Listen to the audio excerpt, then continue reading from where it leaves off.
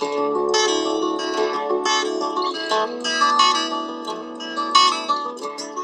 welcome to the Monday afternoon edition of Cover to Cover. I'm your host, Denny Smithson, and I'm delighted to have in the studio with me today a very wonderful guest uh, who's bitten a, who's bitten who's written a book that reeks of knowledge, um, years and years of experience uh, in the world of uh, energy and learning how to save it.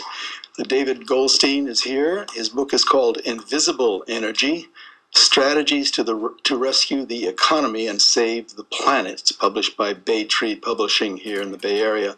Um, David is the uh, um, Energy Program Co Director for the Natural Resources Defense Council. He's also a MacArthur Genius Award Fellow, genius in quotes. Um, I don't know if you did that or, or they did. Because we all hate the word genius. I know, I I knew you did, but I had to throw it in there. I just had to. Um, we discussed his last book, uh, which was titled Saving Energy Growing Jobs, on this program in April of 2007. Welcome back, David Goldstein. I think where you began and get you to tell us your role uh, in making refrigerators more energy efficient in, in California beginning in the early 1970s um, and just how much energy has been saved as a result. I, I, there's not enough you in this book, and I'm going to bring that out today. I want to know more about you know your personal actions and, and what you know what you can point to and say, yeah, I helped do that. Uh, well, thanks. Everyone likes to talk about themselves.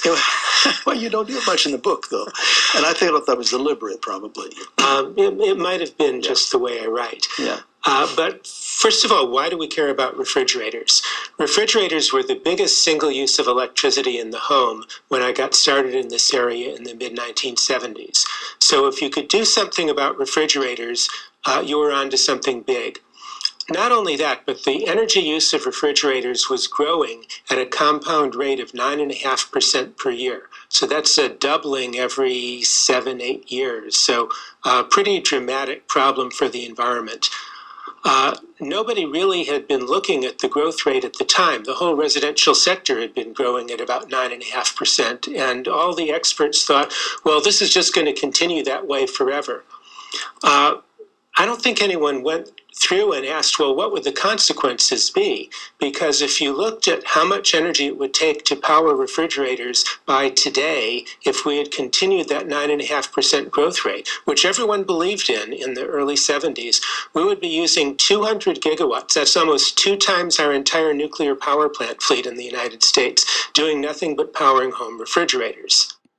You've got to distinguish between efficiency, which means getting the same energy surfaces, getting that big convenient refrigerator if you want it, getting one that defrosts itself if that's what you want. You don't have to give up anything. What you're doing instead is relying on the engineers who make it and the product designers to come up with something that costs less to operate and works just as well or even better. Well, now, what does that mean? Does that mean insulation? Does that mean a better engine? Um, and when, what role did you actually play in bringing about these changes? Well, it means a lot of things from an engineering point of view. And it really isn't environmentalists' job, or the government's job for that matter, to tell manufacturers how to design a refrigerator what manufacturers can do best in a market economy is if the government gives them a goal and says, we don't care how you meet it, but here's what we want you to achieve in the bottom line. So in the 1970s, uh, I worked with the California Energy Commission and uh, uh, many other people to try to look at how much better were some refrigerators that were already on the market than others. And alternately, if you added more insulation or improved the compressor, how much difference would that make in energy use? So we had a good basis to decide that refrigerators ought to be able to use 30% less energy in a couple of years than they did in the mid 70s. Hmm. The key thing was making sure that it happened, and we did this in California by requiring the manufacturers to produce these improvements in efficiency before they could sell the product. Well, I've been working since I left Lawrence Berkeley National Laboratory in 1980. I've been working for NGOs, and even before that, I was working with uh, Environmental Defense Fund and NRDC as a consultant. So, really, what a big part of this success was uh, was the um, open uh, administrative forums in California and the Northwest that would allow people who thought they had a better answer than conventional wisdom to be able to present that answer to decision makers and hopefully get some kind of decision based on the merits rather than the special interests or the politics. Energy itself is invisible. Uh, energy is not like other consumer goods in the sense that you can't eat it, you can't play with it, you can't watch it, you can't drink it. So energy is just useful to the extent that it provides other consumer services that people like. So energy can uh, power a car that'll get you where you want to go. Energy can run a computer so that you can talk with your friends over Facebook. And what people are really interested in is the energy service. Now, you can provide any energy service using a lot of energy or using a very little. And the difference between the two is invisible. Um, I'm an amateur photographer as a hobby, and I wanted to do my own cover art for this book. So I was trying to think of what would I take a picture of that would show energy efficiency as, as a theme. And I was stumped. I couldn't find anything because the point is the efficient device looks exactly like the one that isn't efficient. So what are you going to show? Yeah. Energy is invisible. Oh, well, I may not have the art, but at least I have the title. But what are the limits of energy efficiency. I, you, you say that we've already um, we're already saving 830 billion dollars a year in the United States because of policies that have been implemented. What kind of limits are we talking about? How much can we save? Well, we don't actually know the answer to that question because we find whenever we try that we can do a lot more than we thought. Uh, whenever we've tried to uh, save energy through efficiency, we've always found that we've run out of political will or run out of budget for incentives before we've run out of opportunity.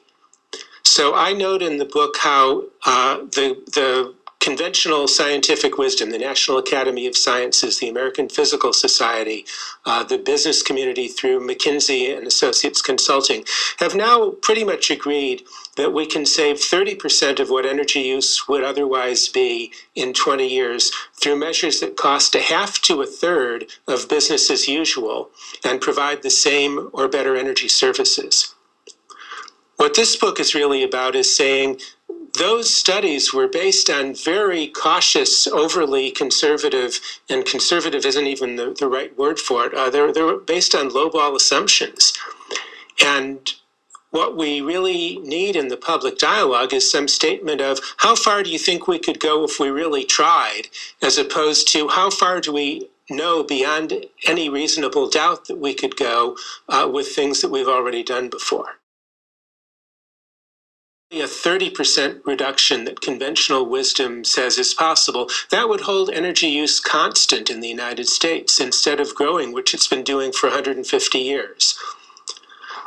But all of those studies are based on really trying to answer the question where could you go in 2030 using 2007 technologies? I mean, imagine if Microsoft is asking those questions. Imagine if a computer manufacturer is asking those questions. So I tried to reframe the issue of how much progress could we make technologically in efficiency if we overcome the failures of the market and can achieve the same kind of success across the board that we've already achieved with refrigerators or with heating and cooling in new homes here in California? And, and by the way, these are areas where we haven't tried our hardest for 35 years, we've, but at least we've tried a little, we've tried intermittently. And, and that gives you a completely different answer. That says, depending on how much we can um, encourage new technology and innovation, we can get by on a third, maybe as bad as two thirds of today's energy use with a vastly expanded economy in 2050, more population in the United States, and a higher level of energy services while we're still paying a lot less than if we had done business as usual. We're talking with David Goldstein. The name of the book is Invisible Energy, and uh, you can probably find a copy in any good local bookstore.